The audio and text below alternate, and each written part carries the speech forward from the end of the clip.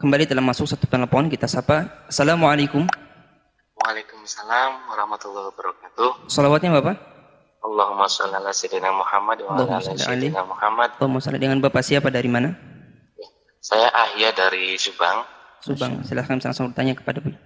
Mau bertanya Buya, ini terkait eh, syarat sah sholat Jumat. Saya dan teman-teman saya dari beberapa daerah yang lain banyak berkumpul di suatu daerah untuk bekerja. Nah, kita bekerja di situ lebih dari setahun dan orangnya lebih dari 100 orang. Kita termasuk bukan orang penduduk asli tersebut, Bu ya. Nah, pada saat sholat Jumat, kita sholat Jumat seperti biasa dan mencakup 40 lebih. Tapi bukan, tapi tidak ada warga sekitar karena jauh dari warga sekitar. Nah, apakah sholat Jumat kita itu termasuk sah karena tidak ada 40 orang jamaah warga penduduk sekitar atau seperti apa Bu ya? Terima kasih penjelasan. Baik. Assalamualaikum warahmatullahi wabarakatuh. Waalaikumsalam warahmatullahi wabarakatuh. Masya Allah.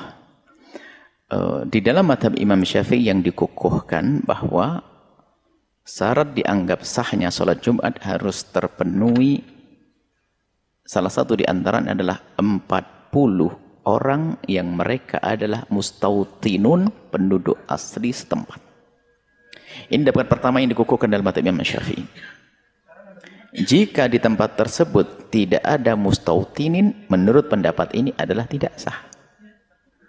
Akan tetapi ketahuilah, ini ibadah yang sangat mulia, ibadah Jumat, sholat Jumat, berkumpulnya hamba Allah, ada tausiah dan sebagainya.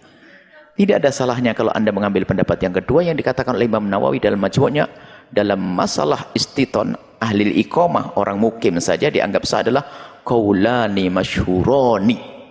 Jadi pendapat yang kedua juga pendapat yang sudah umum ada di dalam madhab Imam Syafi'i. Jadi menurut pendapat yang kedua dalam madhab Imam Syafi'i adalah sholat Jumat anda adalah sah. Anda sholat Jumatnya dah sah dan laksanakan tidak usah khawatir. Nanti kalau ada yang nyalahkan anda lari kepada Imam Nawawi rahimahullah ta'ala dalam kitab majmuknya anda selesai. Kita jangan persulit urusan umat hal-hal semacam ini. Urusan ibadah. Apalagi dalam hal ini adalah justru menjadikan mereka akan melakukan sesuatu yang besar. Mengambil pendapat yang lemah pun boleh. Yang repot, yang nggak boleh ngambil pendapat lemah adalah urusan fulus. Urusan fulus pakai pendapat yang lemah biar dapat fulus. Ini kurang ajar. Tapi kalau urusan ibadah, ambil pendapat yang lemah justru agar orang beramal adalah sangat sah. Anda boleh mengambil pendapat yang lemah ini. Cuman kalau ada di antara Anda yang ingin meluang tapi pribadi, ihtiyat. Karena solat anda, ulama sebagian ulama syafi'i tidak mengatakan syah, maka ikhtiyat hati-hatinya anda mengulang. Tapi pribadi, jangan dipaksa mereka untuk mengulang. Daripada mereka anda paksa untuk mengulang, solat saja duhur. Jadi intinya, solat Jumat adalah sah dan anda laksanakan selesai. Anda dapat pahala Jumat yang besar itu insya Allah.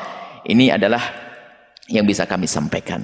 Dan ini pernah ditanyakan juga saudara kita yang ada di Jepang, saudara kita yang ada di Korea, hal-hal yang serupa semacam ini, kami sampaikan adakan sholat Jumat, nggak ada masalah.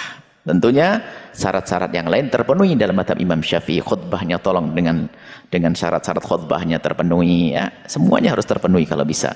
Artinya selagi sholat, sholat, syarat semakin terpenuhi semakin bagus. Kalau ada kurang, nanti ada khilaf dalam madhab lain. Kita ambil untuk kemudahan dalam beramal. Tidak apa-apa. Seperti itu, lanjutkan dan tidak ada masalah. Kemudian setelah itu, tidak perlu anda mengadu pendapat kami dengan pendapat orang yang mengatakan tidak sah. Yang mengatakan tidak sah, itu adalah pendapat benar. Jangan diadu omongan saya. Kami hanya hadirkan pendapat yang kedua. Jadi saya tidak bertentangan dengan orang tersebut. Jangan lalu kata Buya sah. Saya tidak mengatakan begitu. Kami menyodorkan dua pendapat. Pendapat yang kedua adalah sah dan anda boleh lakukan selesai. Kadang-kadang berita kami itu di luar berbeda. Buya bertentangan dengan ini. Padahal kami tidak bertentangan. Kami hadirkan masalah ilmiah kok. Jadi yang mengatakan tidak sah hormati. Dia adalah ulama juga. Anda pengen dengar dia? Ya jangan sholat Jumat. Kalau anda ingin dengar yang kami sampaikan, silahkan. Tapi jangan diadu. Karena sekarang gampang adu domba. Semoga Allah mengampuni kita semuanya. Dan semoga Allah mengangkat derajat kita. Menjauhkan daripada terpleset. Lahir batin dunia akhirat. Wallahu a'lam bisawab.